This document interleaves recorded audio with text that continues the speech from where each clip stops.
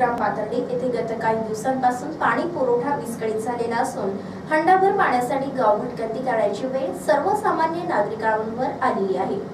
ग्रामपंचायतकडून कडून करवसुलीचे कारण देण्यात येत असले तरी धनदांड्यांना कर सवलत देण्याचा प्रयत्न स्थानिक प्रशासनाकडून करण्यात येत असल्याचा आरोप ग्रामस्थांनी केला आहे तेल्हारा तालुक्यातील मोठ्या लोकवस्तीचे गाव म्हणून पाथर्डीची ओळख आहे.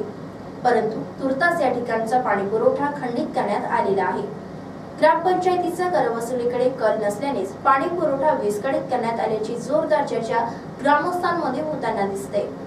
सध्या गावात असलेले हापशी पंप सुद्धा पूर्णपणे बंद अवस्थेत आहे. परिणामी पाणी आणायचे तरी कुठून असाच यक्ष प्रश्न सर्वसामान्य नागरिकांना पडलेला आहे. गावातील नागरिकांना शुद्ध पाणी मिळावे यासाठी जलशुद्धीकरण सुद्धा कार्यान्वित करण्यात आले आहे. परंतु एरवी पाच रुपयांमध्ये मिळणारे वीस लिटर पाणी आता सध्या दहा रुपये देऊन विकत घेण्याची वेळ नागरिकांवर आली ग्रामपंचायत प्रशासनाने वेळीच लक्ष देऊन उद्भवलेली पाणी समस्या दूर करावी अन्यथा स्थानिक प्रशासनाच्या बोटचेपी धोरणाविरुद्ध तेल्हारा तालुक्यातील कार्यालयावर घागर मोर्चा काढण्याचा इशारा पाथर्डी येथील ग्रामस्थांनी प्रसिद्धी पत्रकातून दिलेला आहे.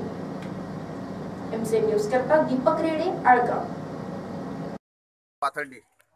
हा. काय समस्या काय भाऊ? समस्या आमच्या इथं आठ दिवस झाले पाण्याचा एवढा प्रॉब्लेम आहे. की दोन दोन बोर असल्यानंतरही वीज पुरवठा खंडित झाल्यामुळे पाणी बंद वॉटर सप्लायचं कनेक्शन कट केल्यामुळे पाण्याची मोठी भीषण टंचाई आहे. आज पाचच्या बोरवरून जर पाणी आणलं तर पाणी पिण्यास योग्य नाही आहे माठं पाणी आहे. दोन आरो प्लॅन्ट आहेत. दोन आरो प्लॅन्टमध्ये त्याने आणि काय केलं? की टँकरनं पाणी पुरवठा करून पूर्वी पाच रुपयात कॅन मिळत होती. आता दहा रुपये केले आणि ते विशेष म्हणजे त्या मशीनमध्ये न टाकता हाती पैसे घेतले दहा दहा रुपये. ठीक आहे सर्वसाधारण माणसाला परवडील पण मजूर वर्गाला कसं काय परवडणार आहे ते? कधी सांगतात ग्रामसेवक सरपंचासोबत जर कोणा विचारणा केली तर ते म्हणतात होऊन चालू पाहू करू. उडवाउडीची उत्तर देतात. ग्रामसेवक कोणत्याच प्रकारची याच्यावर चर्चा करण्यास तयार नाही आहे विशेषतः ते दोन चार पाच दिवसातून चक्कर मारतात. ते असं विचारलं असतं का ऑफिसमध्ये आले नाही? कधी येणारा? तर म्हणते माझ्याकडे एक गाव नाही आहे. असे उलवाउलवीचे उत्तर देतात.